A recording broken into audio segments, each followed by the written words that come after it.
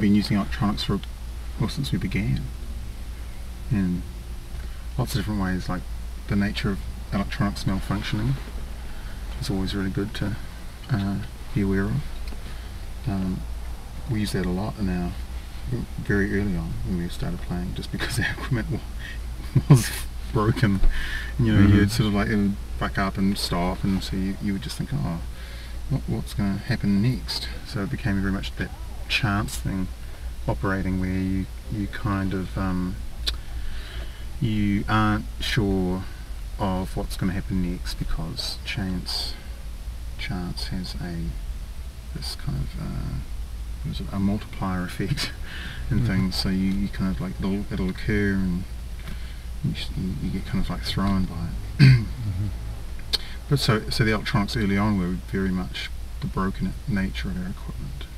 That we were using Betapol two-track analog tape machines to record on, amplifiers that didn't work properly, and guitars that didn't work properly, and things like that.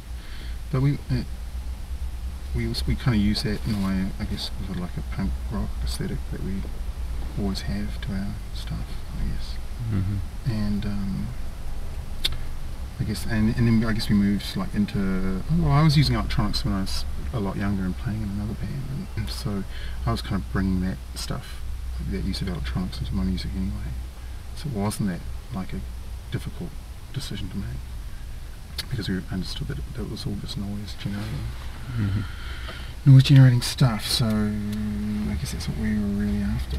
Um, the I mean now God we've used you know we use a lot of synthesizers and stuff as well so it's um yeah I mean it's it's, it's still pretty good though. I mean the, synths are a different instrument again. I use a computer a lot now as well so. Mm-hmm. but the computer is just the ease of use thing like it's a tool so can use like that. It's better than like that or a whole lot of tape loops which uh, gets really hard to uh, monitor what's going on and stuff. Um, I guess, oh, what else? I mean, we, we do a lot of uh, just like um, putting electronic noises like straight in over tracks sometimes. So we do a, bit of Mhm. a, a collage, I guess, of sound. So yeah, use them, use them a lot. Still use them. Um, I don't see any point in, I mean, not using something that, that creates some kind of tone. Bruce has a lot of uh, machines that are just like purpose built to generate tone. And you can adjust tones and stuff, so like tone generators, uh, which re- are really nice. And we were using those early on too because of the synthesizers we were using. So, I mean, yeah. What kind of music got you into actually using synthesizers, though? I mean, was it like was it something where it's just like, oh, this is something I want to play with, or was there other Mm. like reference points that you found in other music? Oh well, definitely throbbing, throbbing gristle, cabaret Voltaire. Um, I guess Joy Division as well, because there's a couple of tracks in Joy Division where they use a kind of like grungy kind of synth. Um, Pere Ubu, uh, they're very influential. Um, band called English band This Heat.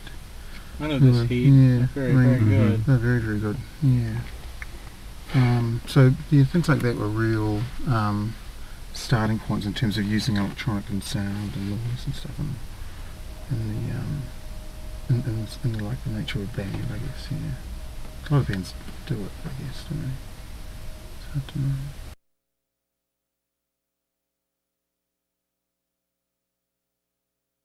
Obviously, uh, the Dead C uses improvisation as a major composition tool.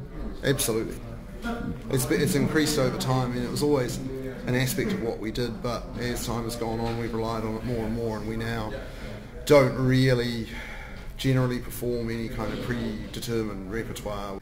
Do you, you have to let go to operate on this kind of level? Obviously, yeah, it's all about the kind of, you know, left hemisphere, right hemisphere kind of thing. And but I don't think I mean that's brain chemistry. I don't think it's necessarily mystical. You can express how you feel about it in mystical terms, but I don't personally. I'm a very kind of a, I guess philosophically, I'm a materialist, and I'm not really too much into that kind of thing. But they're valid metaphors, and they can describe the sensation of, of what we do as a, as a collective entity, certainly. Um, but no, I think more what personally what I do, it's about letting go of too much rational control and letting the kind of expressive side come out, you know, and that's a, it, yeah, I think it's a, it's a, it's a brain mm-hmm. thing. Mm-hmm. But it's also a physical thing because the performance is quite demanding and you have to get into the right frame, not only mind, but also just the right, you've got to let yourself go to a point where you can kind of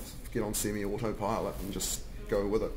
Uh, do you think uh, this being able to do this type of thing is this learned or is it more? Do you think you kind of have it already? Oh, I think we always had it, had it to a degree, but we've certainly refined it immensely over the years. I mean, that's what we do. That's I'm not a necessarily better, certainly not technically a better guitar player than I was, you know, 10 years ago, but the, in the empathy, the skill of the collective kind of creation thing is definitely better and gets better all the time. We'll go on getting better you know, as long as we do it.